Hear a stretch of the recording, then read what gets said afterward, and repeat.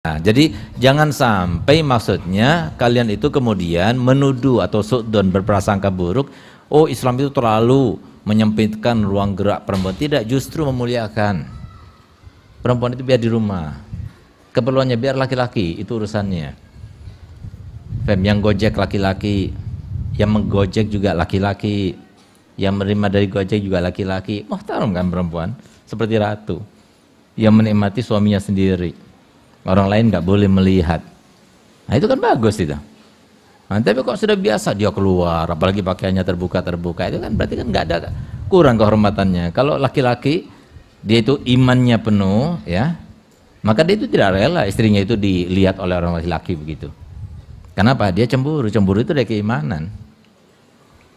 Nah, tapi kalau sebaliknya, sebaliknya perempuan yang cemburu pada laki-laki, nah itu bisa jadi penyakit. Gitu. Karena apa? Karena ini bukan Ustadz yang ngomong. Kan ada hadisnya. Rasulullah mengatakan, Ghiratul rojuli iman. Wa ghiratul mar'ati kufur. Cemburunya laki-laki itu adalah iman. Cemburunya perempuan itu kekafiran. Oh, kok bisa?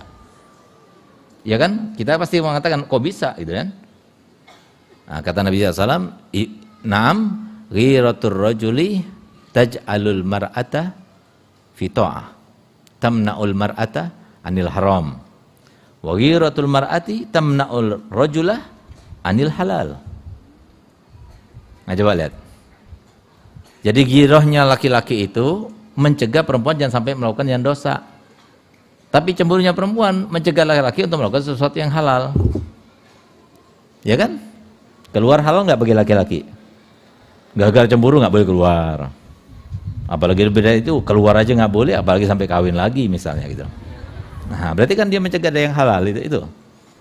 Nah, jadi biar kita paham kenapa bisa sama demikian, pola pikirnya beda.